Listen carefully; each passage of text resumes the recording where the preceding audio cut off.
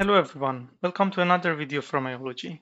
So today Mojo is uh, available for installing and playing with and I thought that maybe we can have a, a small uh, video walking through that and see what are the problems that we see and what are the benefits. Uh, so for having that you need to go, we have two kind of uh, definition like let, we can have a let and we can have a var so the let means that it is a constant vari variable, good definition. But the uh, interesting part is that if I have something like this and I say print A, for example, in Python I can run it, yeah. But in Mojo, for running this, I need to say mojo test.mojo, and it will, won't run because it needs the main function. So we need to have a function main and uh, for that, it needs a main definition like C programming language. Of course, if you uh, like developing a library, you don't need that main function, main entry point. Uh, so that is the first difference. Another difference is that as soon as I add this, it said warning, AA declared as var, but never muted. Consider switching to a let, so it's not being used. That's why it's saying it's not used. Uh, yeah, so it's not like Python. It's give me the sense of it's like a C or C++. So for example, I have defined a variable here. So I can say this is an integer and I can define the definition of that. Uh, we can do that in Python too, but the primary type are like int, float, 32, stuff like that are different than Python. So if I have a function here, let me have a function here like fn add or like modify, something like that, modify. And I get a yeah, and I get also another uh, input variable as b. So like Python, we can have the output definition. For example, it can get integer.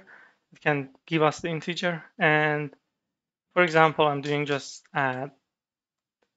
And so it, it will be called correctly. Yeah. So when I pass, let me have two variable here, like x and another variable y. And instead of this, I will pass x and y, and I have a variable z. So if I, like here, if I say, let me change the name to be consistent with that part. So if I do something like x plus 1 and y plus 1, let me also, maybe it's better to have a print statement on x and print a statement on y. So if I do something like this, x and y is 1 and 2 because 1 and 2 is defined here. This is owning its own x and y. So it's like copying the variable there. And when, when you do something like in and out, in out, so you are, when you write this, you having 2 and 3 because everything applied here is also applied here is like passing by reference there. And if you do not do something, which means that it is borrowed, so you're not able to change them. So it's like a const definition somewhere here when you have it. So that is good. Um, so far, so good. So I need to, for example, in this case, I need to define in out to able to change them. Okay. So these are some of the changes that we have comparing to Python. In Python, we are not able to handle this because if they are not primitive um, instances, uh, if you change it here inside the function, it's like in and out. The default in Python is in and out. Um, and yeah, that is the first part. Another thing that we can do with Mojo is that we can import, and import syntax is very similar to Python. We can say import from Python, import Python. And if you do that, um, now you can import some of the Python modules. We can say Python import module. And for example, I want to use um, NumPy maybe or sys or whatever. And I can define it as the const variable np. Okay. And now, because I have it, if I do something like, let me do that. If I do something like print np array, yeah, like this. If I run this, uh, it said failed to parse the provided try surrounding the call in try block. Okay. We need to have it in the try catch. So if there is no numpy, set no numpy. It is not mentioned in documentation. that you need to do that, but overall it's okay. So a good point here is that now you can like import anything and uh, import like not anything, most of the thing from Python, and you can create that bridge. But that is not the main purpose of Mojo. So um, the single instruction, the parallel and vectorized programming, I think is the uh, most important part of part of this. So if you open if you open Mojo, forget about license, but you go to, for example, like memset, like there are some cool example about how it can be used for fast memory management. And I think if you search for vector, um, maybe search here, vector,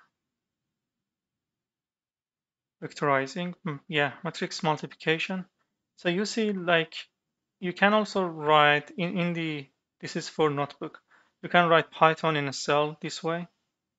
Um, or you can have a class definition like, like Python, but these are, you see the, the difference is that you have a def here in the Python, you have fn here, I still don't know exactly what is, what are these differences, but like whenever it's going to the module implementation, which is very similar to C++ or C, it's using that function. I'm not sure about it. Many many people can like you can you can talk about that that why. And you see that there are some speed up like four times speed up over Python just by um, in this case matrix initialization inside module and applying matrix multiplication without any effort. So, so far, like if you implement your function, so it is just benchmarking that. So just matrix initialization, where is that? He here. So you will get the, uh, like you need to define the attribute that you have in a class here. So in the matrix class, you have set item, get item. There are some other attribute that is not defined. Uh, so like rows, columns, append. So these are like returned as attribute as a matrix initialization. So you will have this matrix C, B, and A, and then you are just applying that for inside this compilable language. Why compilable? Because um, in VS Code, if I come back here, instead of just running this way, I can say build it. And by building that, I have this binary file. So if I search for like, what is this test? It's giving me this. This is the LSB pie executable for the GNU version that I have. Yeah. So this is this is giving you an executable file. It's compiled now, which is I think there are some maybe something implemented here for optimization should be even faster. Like if I do something like test, in this case, it said in Mojo Python, unable to locate libpython, please set Mojo Python library and you need to set that. So there are some other parts you need, you need to do that, but overall it's like something doable and interesting. So if you back here, like by just applying this to the Mojo, you're able to improve the performance. And after that, I think that's the main part of the Mojo um, can give you a lot of improvement using, first of all, let's see, yeah, just adding types because it's, I think it, in compile time, it shouldn't give a difference because if, if it can infer it in compile time and it is really building that, uh, if you don't set the type. I'm not sure about this, but I think it should work.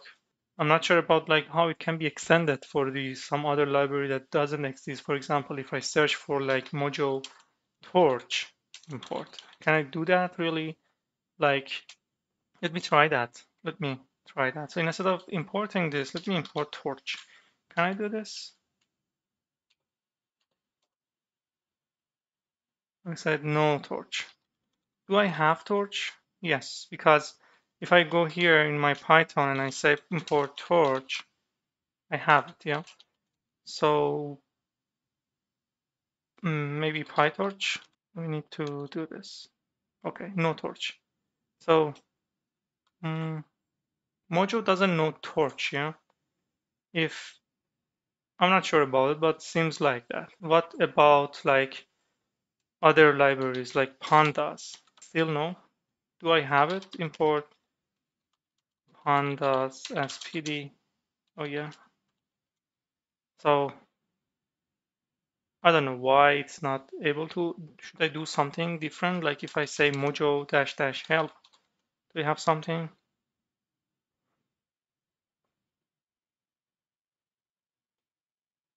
Yeah, seems like Mojo build, Mojo package, compile a Mojo package, format Mojo doc. Okay. I don't know really, like maybe we need to dig into it. Maybe we need to install it somehow. So that's it. Like in terms of like licensing, I think it sucks in terms of uh, like searching so far it's not good. I think if it was open source, it was really helpful for many projects in the future of AI but let's see what will happen in the future. I personally prefer to, uh, instead of doing this, like invest on something that more uh, like related to what we can do. For example, I prefer Zig programming um, for like a fast, I think it is the fastest uh, programming language so far. And there are a couple of good things about that is that you can compile C files there. Uh, you can compile C++, not C++ directly, but they are working on that. Like add a Z compilation, you need to see C++ project, cross language, everything. And it is really fast and it is, the syntax is really good. Yeah, and it is also easier than learning Rust and working with Rust. And yeah, I, I have also seen some, for example, Zig-Lang binding for Zig here, which is really good in terms of speed. If you see some of the example, for example, let's see the face detection. So for Zig, just one file importing from Zig CV, and you can you can import from zimport in Zig. It is not using that because you, you already have a library there. But overall, the syntax is really cool. Like for example, you say, create me a webcam, try it.